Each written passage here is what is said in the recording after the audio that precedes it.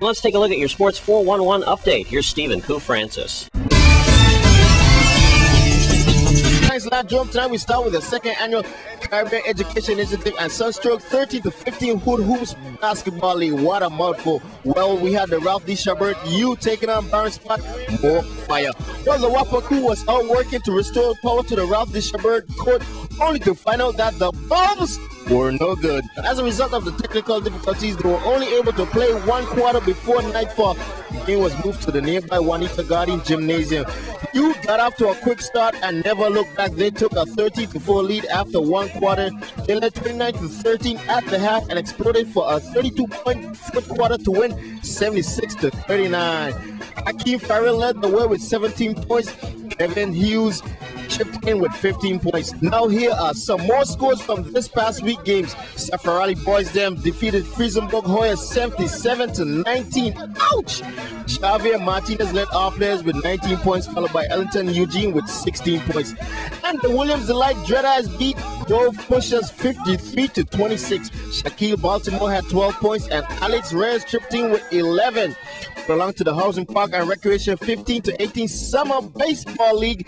Had the Reds taking on the Cobras, who are coming off a close defeat, they suffered on Tuesday night, looking to bounce back. Let's pick up the action. Bottom of the third, Reds have a one to nothing lead. One on, two out for James Sneed. He hits a blooper down the right field line. Looks like he's gonna drop in for the base hit. But one Carlos Uribe is on his horse and robs him blind of the hit getting the Cobras out of the inning. Nicely done. But that play didn't give the Cobras no spot as Rafael Soto was sitting there down in order.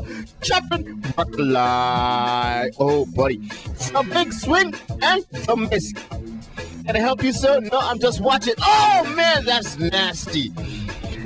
In the bottom of the fourth, things started to fall apart for the Cobras. Warren Brooks starts the party rolling with the blooper to short center field. Next batter, Kareem Jackson draws the walk, so two on for Denzel Gore.